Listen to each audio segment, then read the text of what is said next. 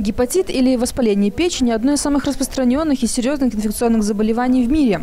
По данным Всемирной организации здравоохранения, этот коварный недуг поразил около двух миллиардов человек в мире, то есть каждого третьего жителя планеты. К сожалению, случаи заражения вирусами гепатита А, Б, С, Д и Е фиксируются и в нашей стране.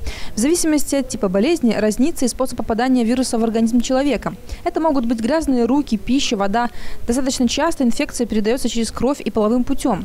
Однако грамотная политика по мерам профилактики гепатитов дает положительные результаты. И сегодня эпидемическую ситуацию в Бресте можно назвать стабильной. Ситуация по энтеральным вирусным гепатитам у нас стабильная и наблюдается снижение, постоянное снижение заболеваемости вирусным гепатитом А.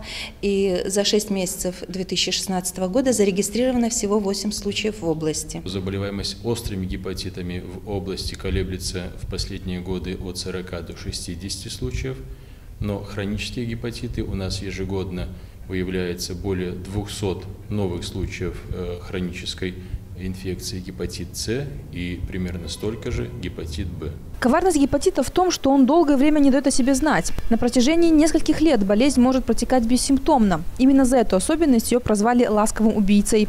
Как правило, такие пациенты, если обнаруживают гепатит, то уже вместе с осложнениями. Наибольшая трудность в том, что эти пациенты выявляются уже на этапе хронической инфекции, когда мы имеем уже активный воспалительный процесс в печени, у некоторых даже уже с формированием фиброза и цирроза печени.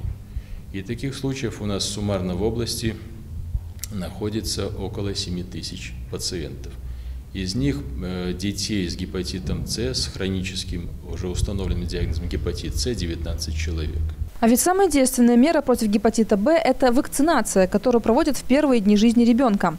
Увы, сегодня некоторые родители отказываются делать прививку своим детям, ссылаясь на различные причины. Такая безлаберность может привести к серьезным проблемам здоровья малыша, иммунитет которого не может самостоятельно бороться с коварным вирусом.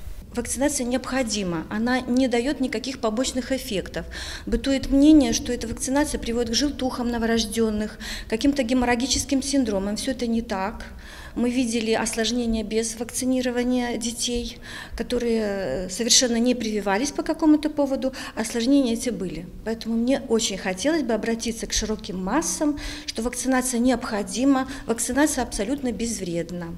Несмотря на то, что у каждого вида гепатита свои особенности профилактики, есть общие правила, соблюдение которых поможет избежать заболевания. Речь идет о таких прописанных истинах, как мытье рук, использование предметов личной гигиены. Также необходимо следить за тем, чтобы мастера по маникюру и татуажу тщательно обрабатывали инструменты перед процедурами.